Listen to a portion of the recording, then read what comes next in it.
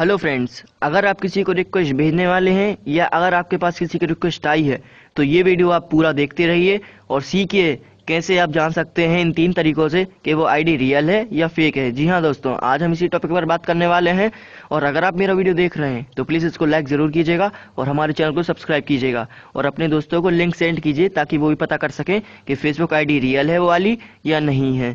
तो चलिए दोस्तों, शुरू करते हैं। हेलो दोस्तों अगर आप भी पता करना चाहते हैं कि ये वाली प्रोफ़ाइल असली है या नकली, या कोई भी आपके पास अगर रिक्वेस्ट आती है, आप वो भी पता कर सकते हैं कि वो प्रोफ़ाइल असली है या नकली।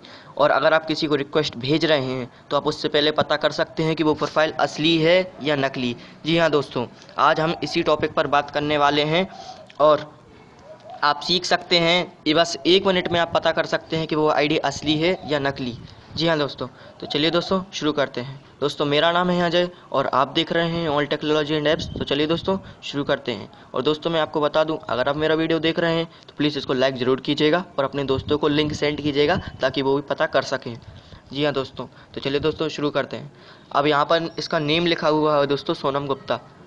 अब यहाँ आपको ऊपर फेसबुक यू दिख रहा होगा, आप इस पर क्लिक करिए और आप यहाँ पर देखिए, अगर इसका यहाँ पर यूज़र नेम ना लिखा हो दोस्तों अगर यहाँ पर इस टाइप के नंबर्स लिखे हों दोस्तों तो समझ जाइएगा ये फेक आईडी है।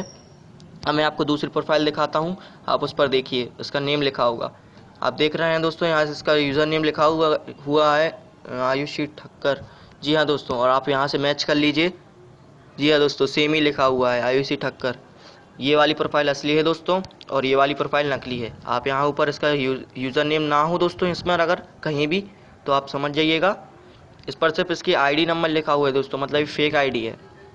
और इसमें इसका नेम लिखा हुआ है। आप इसमें देख लीजिए, इसमें इसका नेम लिखा हुआ है, आयुषी टक्कर, और इसमें नंबर नहीं लिखे हैं दोस्तों। मतलब ये वाली आईडी असली है, और ये वाली आईडी नकली है। आप देख सकते हैं, इसमें प्रोफ़ाइल पीएचपी लिखा हुआ है मतलब ये आईडी नकली है। मतलब ये, और दोस्तों एक तरीका और है पता करने का। आपको यहाँ पर इसका प्रोफ़ाइल पिक्चर पर क्लिक करना है।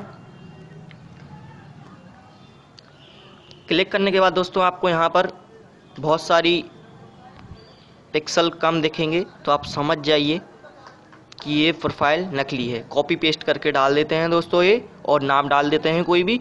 और दोस्तों अगर इसमें एक से ज़्यादा फ़ोटो ना हो तो प्लीज़ इसको तो आप कभी कंफर्म मत कीजिएगा। क्योंकि ये देखिए दोस्तों, पिक्सल कम है इसके मतलब एक कॉपी पेस्ट करके डाली गई फ़ोटो जी हाँ दोस्तों, अब ये वाली ये वाली प्रोफ़ाइल की फ़ोटो देखिए आप। इसमें ऐसा कुछ नहीं है।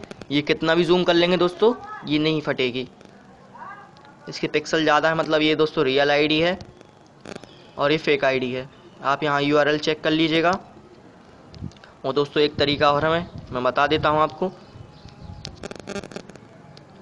अगर आपको दोस्तों ये यहाँ की है लीव्स इन बनारसी इंडिया आप इसके फ्रेंड्स चेक करिएगा। अगर बनारसी के फ्रेंड्स होंगे, अगर मतलब किसी भी अगर आपको आईडी चेक करना है। अगर उसी उसी जगह के अगर वो फ्रेंड्स होंगे दोस्तों तो आपको एक्सेप्ट कर लेना है रिक्वेस्ट और अगर उस जगह के नहीं है, हर कहीं के हैं, जैसे कहीं भी मध्य प्रदेश के और भोपाल के, दिल्ली के ऐसे फ्रेंड्स हैं तो आप इस रिक्वेस्ट को कंफर्म मत कीजिएगा। और बाकी मैंने यूआरएल वाला तरीका बता दिया है, आपको यूआरएल चेक करना है। और अगर नेम मैच नहीं कर रहा है दोस्तों प्रोफ़ाइल आईडी डली हुई है तो आप मत कीजिए एक्सेप्ट और अगर यहाँ पर नेम लिखा हुआ है उसका तो आप एक्सेप्ट कर लीजिएगा।